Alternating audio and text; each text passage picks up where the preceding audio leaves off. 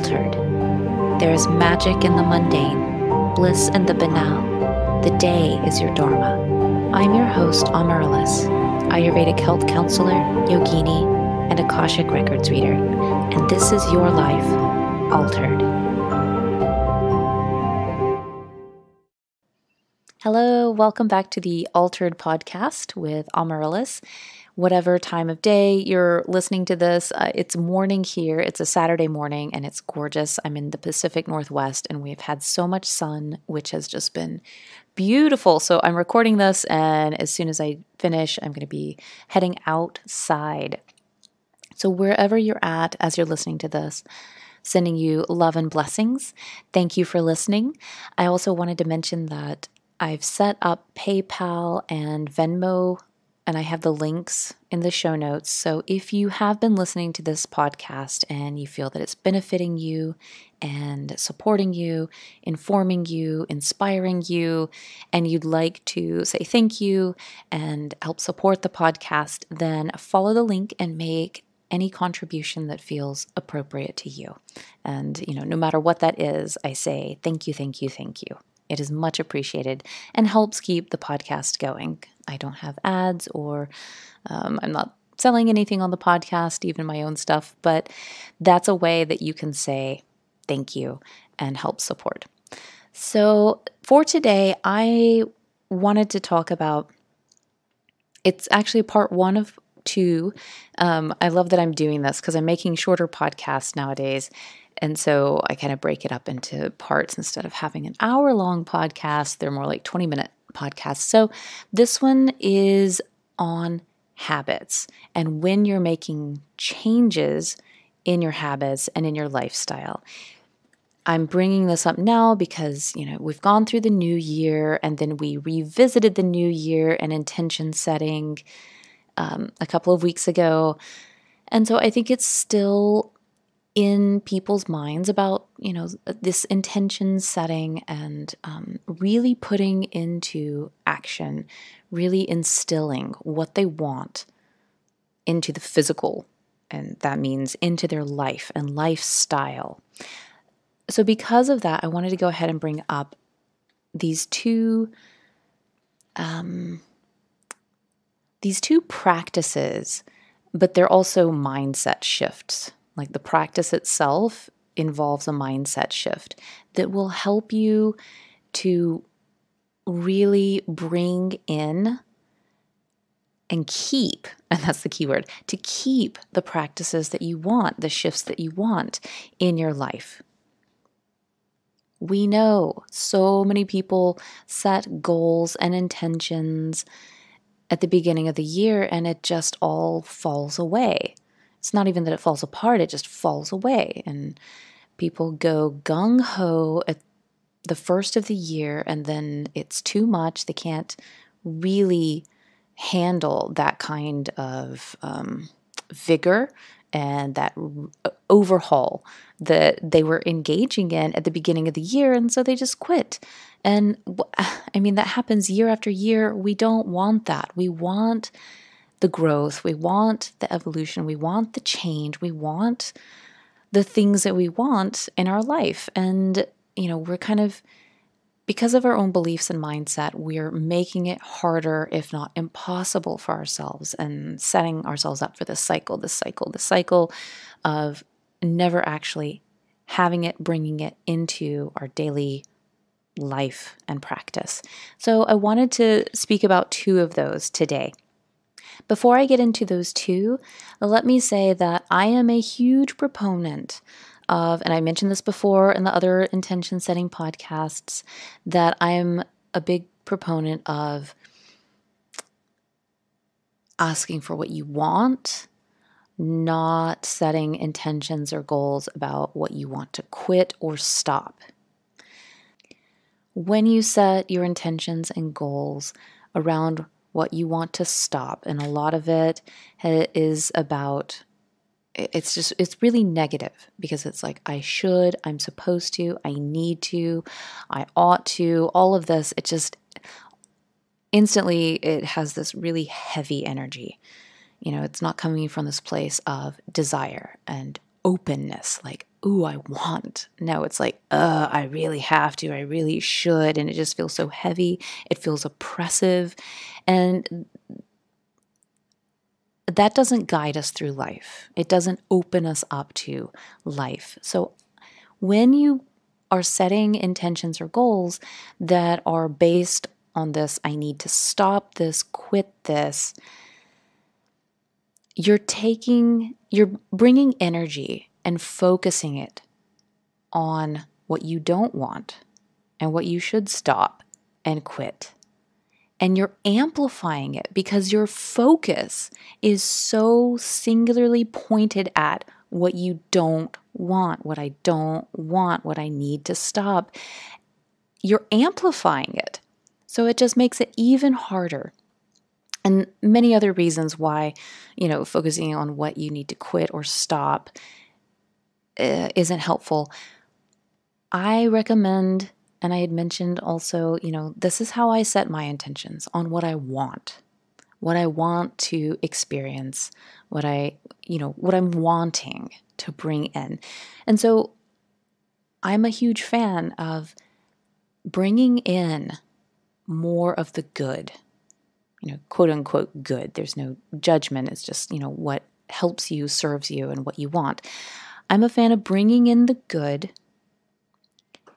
so much so that it ends up crowding out the stuff that you that you don't want. So that the things that you're, you know, at this point thinking I should, I ought to stop and quit, they end up over time because you're bringing in so much other aligned, good, desired, wanted things that they just start falling away because there's no room for them to really grow and you're not engaging them and amplifying their energy and you know that's like food for them just to grow and strength and really deepen the roots so that it's so hard to pull them out no we we just we plant more and more and more of the beautiful flowers that we want so that eventually eh, there's no space, there's no room, and you crowd out those things that you're trying to let go of. So I, I don't give them my focus. Okay, so that's that's my recommendation. You know, it's not one of the the two habit change ideas that I'm going to share today.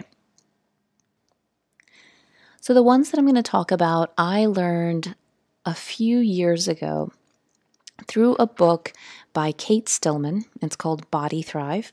It's um, the subtitle is Up Level Your Body and Your Life with 10 Habits from Ayurveda and Yoga.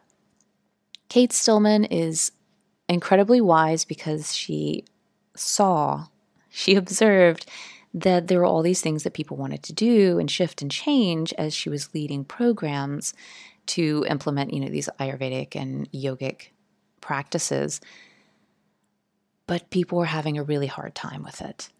And so before any of those things could be implemented, some habit change science had to come in before that to set the stage to say, hey, here are some things that happen when you want to change, and here's how we can work with that. And habit change science is a huge field these days, and I'm glad to see that it's growing because it's helping people make the changes that they want. So, these two practices, um, I ended up teaching, you know, um, from this book and using these practices and guiding people through a program that I led a few years ago called Mama Thrive. It was amazing and wonderful. If you're listening and you were a part of that, thank you so much for being a part of that journey. Um, but I wanted to revisit these on the podcast.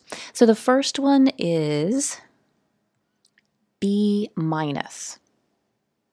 B minus, like the letter B minus. So if you got those traditional grades in school, B minus. For a lot of people, even hearing that and saying, you know, feeling and thinking to themselves, I got a B minus, is like, no, that is not okay. That's not acceptable. No. And that's how, even if you didn't do it in school, that's how a lot of us operate in our daily life is that we feel like it has to be A plus. It has to be A plus, or I shouldn't even do it at all. Why even bother doing it for less than an A plus? Why does it even matter? What does it even count? I'm not going to do it unless I can do it A plus. And so that whole mindset is an all or none mindset. You're either going to do it exceptionally well or you're not going to do it at all. And what happens because of that mindset is most people end up in the not at all category. And so there's a whole lot of people that have a whole lot of things that they want to do and they're not doing them at all. And I think that's really sad because the desire is there, the potential is there, but because they have this limiting belief of it has to be all or none, it has to be an A plus, then I'm not going to do it because it doesn't count, it doesn't matter. What good is it? It's very binary thinking, you know, one or zero.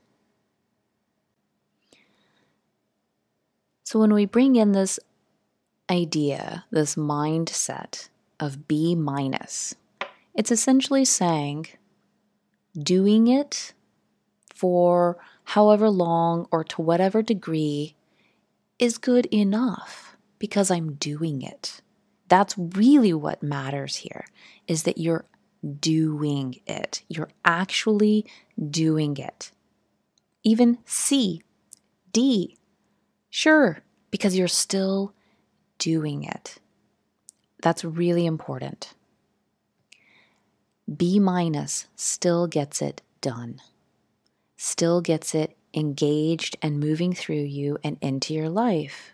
Whereas A plus doesn't. It, it's again in the none pile. I love this story, and I I cannot remember all the details of it. He's mentioned it a couple of times. Ramit Sethi has this story, and he works a lot with money and psychology. Um, and there was a story of uh, a woman who had written to him saying, you know, she really wanted to uh, run um, a certain number of miles every day, um, and that that, or I'm sorry, each week, and that that really mattered to her. And so she was trying to do it a couple of days a week, and you know, she couldn't. It just wasn't happening. And he's asked, well, why not just start out with running one mile? And her response was, you know, because he was trying to say, well, you know, if you're having a hard time doing it at such a high level, this number of times per week, then why not just start, you know, really small? Why not just go for one mile, you know, a couple of times a week? And her response was, why would I even bother doing that? And that's exactly the mindset that I'm talking about. That if it can't be A plus, then it's nothing.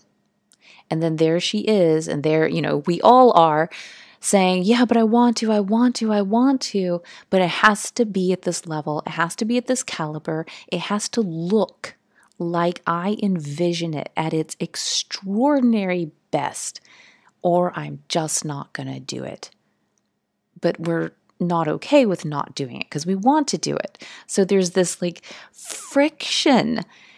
We're standing in our own way. Of course, it feels terrible, but that mindset of, well, why would I even bother going out and just running one mile? Like, what's the point of that?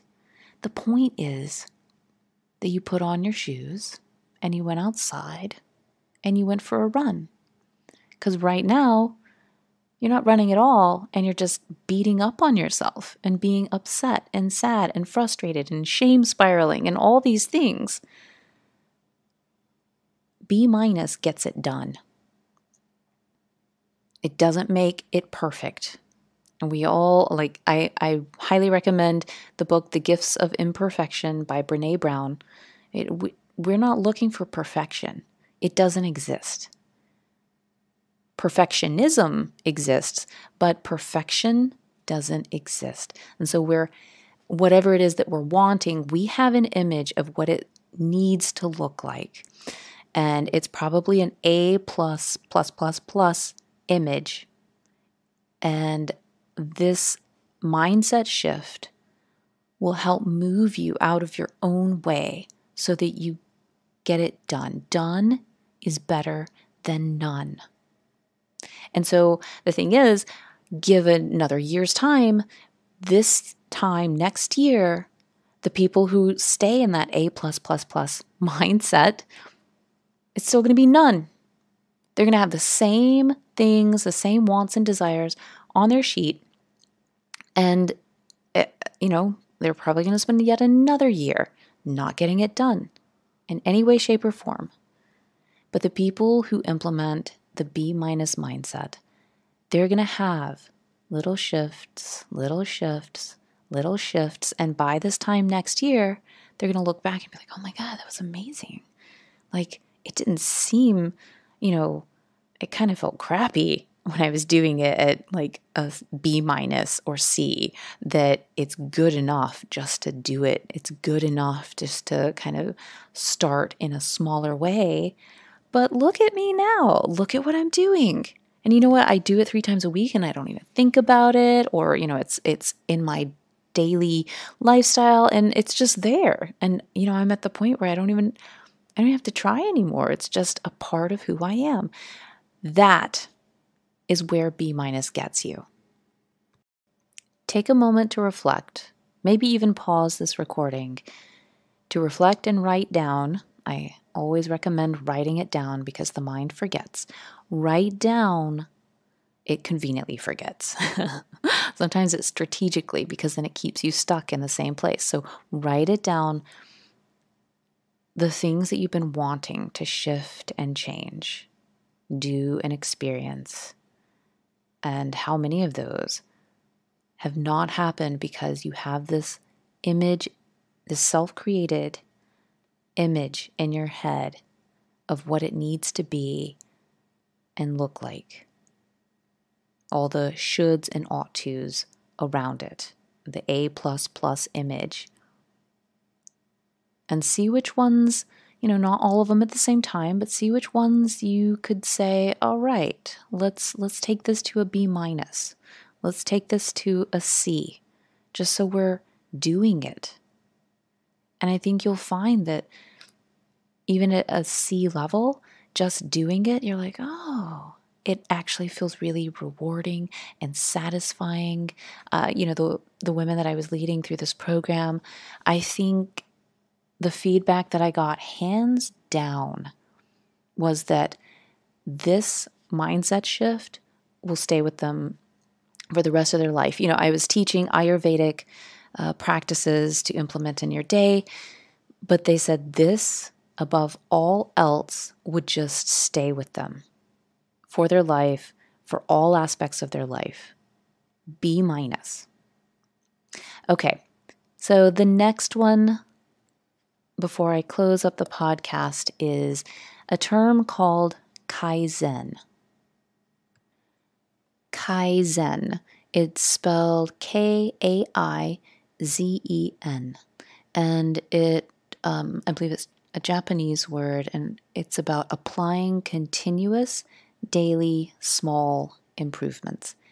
This is piggybacking off of the B minus. So once you can kind of get to a place where maybe even you don't accept the B minus, but you do it anyway, you know, things are going to turn around for you. So the uh, Kaizen is about the small daily improvements. You may have heard a lot of people these days talking about 1% improvement and that that you can leverage that 1% because you don't think 1% is really that much. It's so small, it seems insignificant, but you leverage that into a compound effect, like we think of compounded interest. It adds up.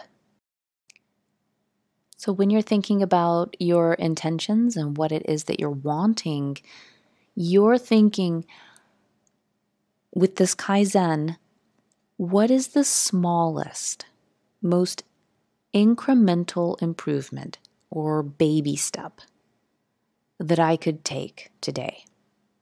The smallest. And the smallest meaning also the easiest. And it's so small that it's underwhelming to where, you know, you're thinking, yeah, 1%, what does that even matter? What does it matter? It can actually add up over time to change your life. I was reading um, a book, I think it was on Kaizen. Regardless, there was a story in there about um, someone who was really wanting to run on her treadmill. And so she, um, why are both of these about running? I don't know. I, that seems to be what our culture does is they want to run. Um, so she had this treadmill and it just sat there and never got used. Like then all this, you know, shame builds up around it like, oh, I bought it and it's here and it's just taking up space and I never get on it. And so I don't even want to look at it because every time I look at it, I feel bad because I'm not using it. Uh. So with this Kaizen approach, what she started doing was in the morning, she didn't run, right? Like the A plus plus is like, no, I'm going to start running on it five miles in the morning before I get in my shower. No, she decided with this small daily habit, she's like, well, you know, every morning I kind of, uh, I have my coffee and I kind of scroll through the news of the day or social or whatever. So she decided she was going to do that on the treadmill not walking on the treadmill, nothing, just standing on the treadmill. And I thought that was genius because the point isn't at this point for her to run on the treadmill. The point is for her to just get in the habit of going to the treadmill, to approach it and get on it. So every morning you know, she well, when she had her coffee, she just started going to the treadmill, standing on it, and you know, doing her scroll, doing her usual thing. And after a time, she started um, to turn it on and just walk. You know, really easy, slow walk because she's still scrolling, she's still drinking her coffee. But, you know, this wasn't over a week. This was a few weeks that she spent just standing on it. But it also reframed um, that relationship that she had with the treadmill because she was hating looking at it. But now she could look at it and it made her think of mm, morning time and like my social time. She didn't feel bad about looking at her treadmill anymore. And eventually, like I said, not after a week, but many, many, many, many, many, many weeks, it started turning into walking. And then it turned after many, many, many, many, many, many weeks into like a slow jog. You know, at that point, she couldn't have the coffee and the scrolling anymore. So, and I think even then it turned into like a commitment. Like she was like doing amazing running on the treadmill. And I think even after that, she started, you know, getting off the treadmill and going outside and running. So the way she started to most people seems like an F, right? Failed. Like, girl, get off that treadmill. You're not even using it. But that's the genius of it. She did do, you know, that F level. And she ended up changing everything because she was doing it. She got on the treadmill. So, this small Kaizen change, the most underwhelming change. It was, I mean, honestly, so underwhelming. Um, but yet also so easy that over time it had that compound interest effect. Slow, not slow, excuse me, small, daily, consistent shifts that are so easy that are so underwhelming that it's just the easiest thing in the world for you to do. And over time, that is what adds up to making the bigger changes. Instead of having your intentions, whatever it is that you want, and saying, I'm going to go for it. I'm going to go big. It has to be this way.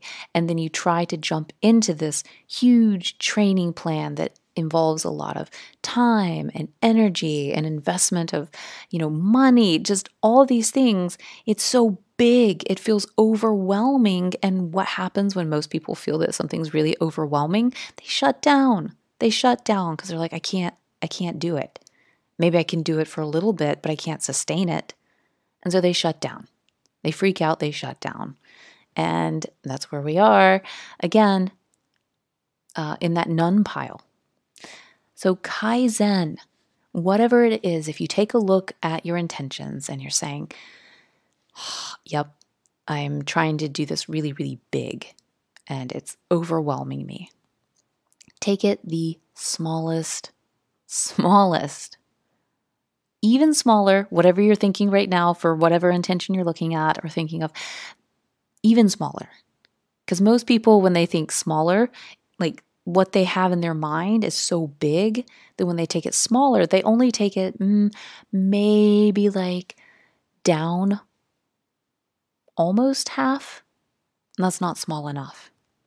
Smaller, smaller, smaller, smaller, so that you look at what you've decided to do and you're like, that's so easy, and that uh, that it seems like it doesn't even matter.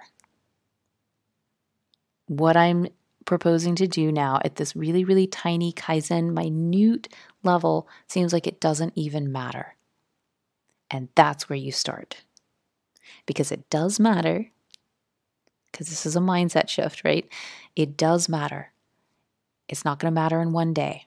Over time, it's going to matter a huge amount because truly, starting with this Kaizen approach, of tiny, tiny, tiny daily shifts can change your life. And I've I've done it in my own life, and um, I've watched it happen with others that I've led and guided and coached. It you don't realize it until you look back, and so you want to be the person that's looking back, saying, "Oh yeah, you know what? It all did count. Look at what it is now. That's amazing." you don't want to look back and be in that none pile. You're like, yep, uh, still just sitting here, not doing it, and feeling bad about it. So take a moment to reflect after this podcast, listen to it again on B minus and Kaizen. The two really go together. You know, they're they're kind of intertwined. That you look at what it is that you're wanting and from A, plus you go to B minus or lower. And you look at the ways that you're trying to do it and implement it and achieve it, whatever. And you make it smaller, smaller, smaller, smaller, so that it's easy, it's easeful, and over time, attainable. Let it underwhelm you. Because if you've been going the uh, go big or go home kind of route through life and you find that it's not really working out for you, do something different. Let this be an experiment. Just try it for six months. You know, this isn't forever. Just try it and see. See what happens. Okay, I will be back with part two next week. Thank you for listening. The links for supporting are below if you are interested in contributing to the podcast to keep it going. Thank you so much and blessings for your week.